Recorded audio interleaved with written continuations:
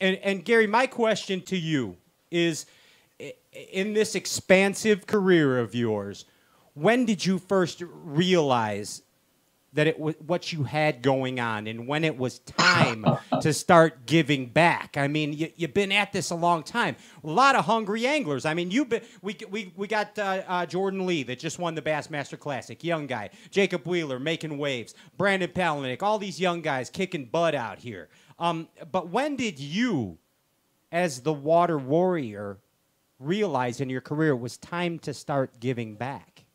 Well, I've always felt like that. I mean, even from the beginning when I was real young, uh, that's how I learned. Is I was actually uh, very fortunate early in my career to be real close to Dee Thomas and Rich Forehand and Mike Folkestad and guys that I grew up that I idolized. They gave to me countless hours and days on the water and trying to share their knowledge with me. So I've always been in an environment where you know what you learn if it's self-taught you try to you know add that onto somebody else's experience. Because you know one of the cool things about fishing is that everybody's different. I mean no two anglers fish the same so no two anglers read the water the same way. We don't even fish the same techniques the same way. So there's a lot of learning that all of us can do together um, and I really, I really enjoyed being a part of that in my career. Yeah, and, and you're a prime example of it because I mean, the education that you provide to so many anglers and you have provided over your career. I mean, me personally, and I don't mean this to be creepy in any way, but man, you've touched you've touched my life, Gary. You really have. Um, your methodical approach to angling has influenced me on the water so much, as well as so many other anglers. I mean, I'm a you're the reason that I love flipping. You really are. It's pretty awesome technique. Yeah, man. I mean, but, but you say that about me, and I say that about Dee Thomas. Dee Thomas is the reason why I learned the technique at such a young age is because I met D when I was 15, and I was able to experience and still continue to experience the thrill of the stalk and the closeness of the prey. And when you make the right presentation, you get rewarded. It's pretty cool. Heck yeah! Now, when when Dee, most people know that Dee Thomas did show you this deal, and and you as a 15 year old out there uh, in California with Dee Thomas, the first time he started showing you this flip technique, were you like? Yeah, man, this is the deal. This is what I want to do. What, did that happen like instantaneously to you, or is it something that kind of soaked in? Well, no, it was something that I wanted to learn because of the effectiveness of the, the Dee Thomas technique. He was winning, you know, the few tournaments that we had in California. And, and it was because of his lure presentation. So, yeah, I was really, as a young angler at 15, I was fascinated by it because most anglers back in the 70s sat down in their chair and cast overhand with little short rods. Where Dee Thomas was sitting in the bow of a 14 foot aluminum boat with a 12 foot rod in his hand, fishing basically close quarters, you know, real shallow fish. He and was, I was intrigued by that. He was jigger poling and doodle socking, is what he was doing. well, you can put whatever term you want to on it. yeah, he was definitely using a long rod, and uh, man, it was amazing how many fish he caught, you know, less than two feet of water. Outstanding. We hear it all the time, Gary, that, you know, I mean, as in regards to this flip deal, it, it's so exhilarating. We're from the north. We're from the land of the ice and snow. You know, I mean, we're just right outside of Chicago, and yeah. and us as northern anglers, um, growing up, it was like a, it was kind of like a light tackle thing. You know, like my, my, grandpa Paul, who got me into fishing. He, you know, it was like four pound line and rooster tails. You know, and then and then I see this guy Gary Klein and and you're, you're using an eight foot flip stick and you're crossing their eyes and swinging them in the boat and and I go out fishing with my grandpa and he's throwing a a, a rooster tail and here's here's me behind him with a at the time a, an Arkie jig way going way back, you know, or yeah. are the oh, yeah. are the old uh, uh, the lunker That's lure jig. 70s. Yeah, the old lunker lure jig and uh, and, and, and using 25 pound line and he's like you're not giving the fish a fair chance that I'd say I'd say I'd say, Grandpa, I, am gonna give him a fair chance when you're taking my picture with him in the boat. That, that's why I'm gonna give him a fair chance. I, I mean, there, there's not to me, there's nothing more exhilarating than being that predator, as you described, on the bow of the boat, and and and, and control of your presentation, and, yeah. and and ultimately trying to be in control of the fish.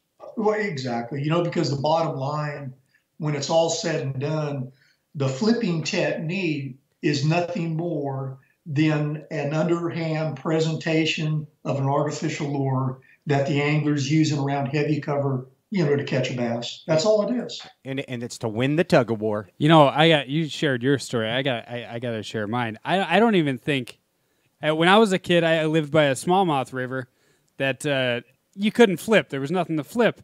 But when the river would flood and get muddy, you couldn't catch fish.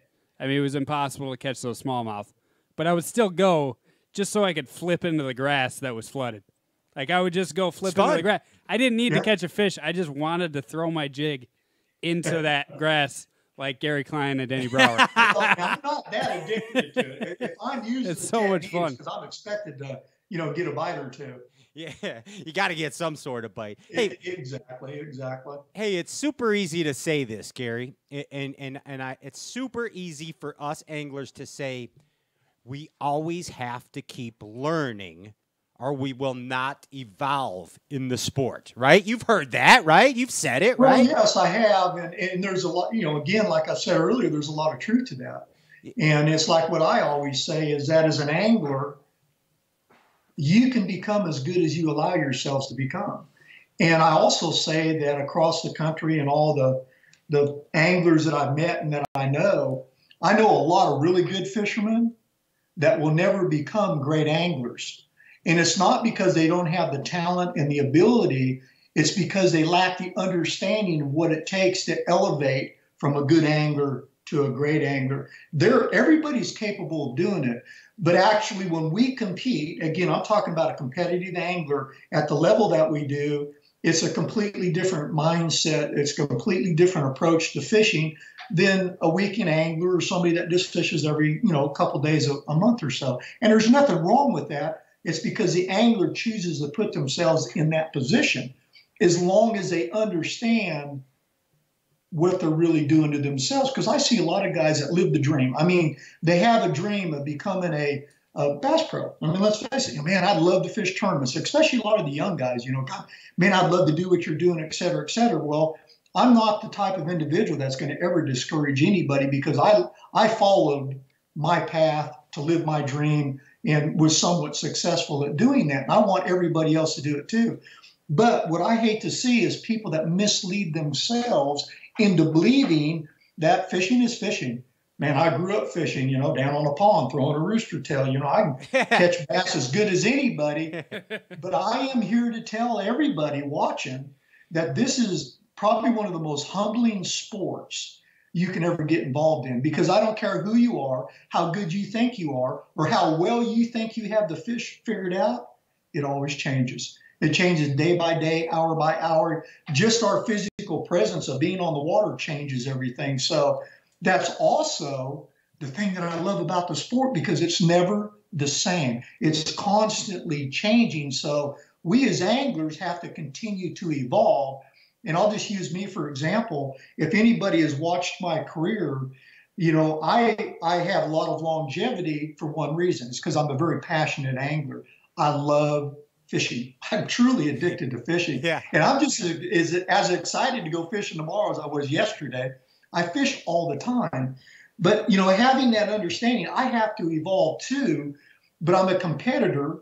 My environment is obviously a lot of anglers that we we all know about the really good anglers.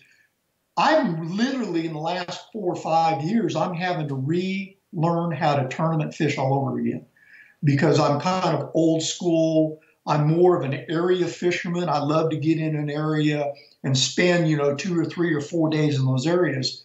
Anymore, that's real hard to do. There are exceptions, but normally now I have to move a little bit more than what I like cover a little bit more water and use more variety of the techniques in the course of a day than what I'm used to. I'm the type of angler that I like to show up and have two rods laying on the deck, maybe a third, But now at the end of a lot of my weigh-in days, I see I'll have 12, 14 rods laying on the deck because I have to do a little bit of everything. That's because you major league fish used to. now. Yeah, that's because you're in major league fishing. You have to have that. That, that, that's a fun gig too. I know.